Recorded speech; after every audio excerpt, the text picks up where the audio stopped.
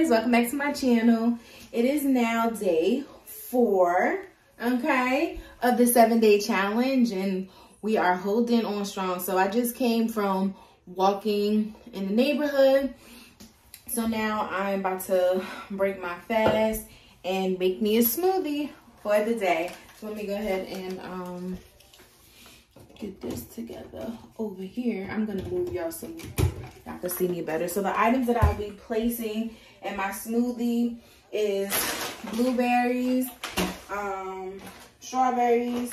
I'm gonna put one clove of garlic um blackberries and then i'm going to use i'm gonna place the seeds of the papaya um into the smoothie and some oats and some almond milk, vanilla flavored. Um, so I know you're asking yourself, now why the heck am I gonna put a garlic clove in there? This helps aiding with a lot in the body. Mainly for me, why I'm putting it in is to regulate the blood pressure, okay? Naturally. Also, I'm adding in these seeds for the papaya seeds for the gut health, okay? It's good for the gut, you know, get all that toxic stuff out of there. So yeah, let me assemble it. Yeah, I'm? How y'all day going?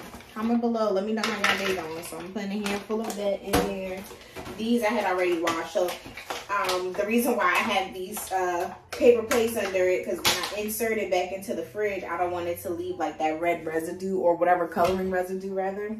So they've been washed and stuff. I just don't want it to leave it behind. So yeah, I'm to put all those strawberries in there. Remember, I bought like two packs of the other ones. So we good to go. And then we kind of want to mask the harsh flavor of a garlic in there.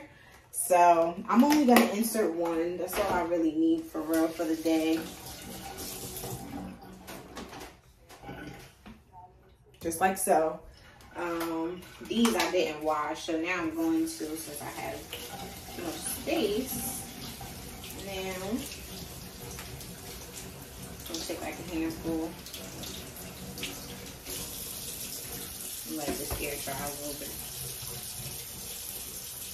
The blackbirds. And then just a little bit. I'm not gonna put a lot of the seeds, just a little bit. Put a little bit of the seeds in there. Okay, maybe I'll put a little more. Put a little quantity.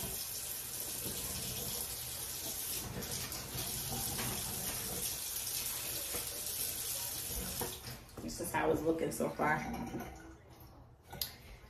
I'm gonna add a half a cup of, I'm getting my measuring cup.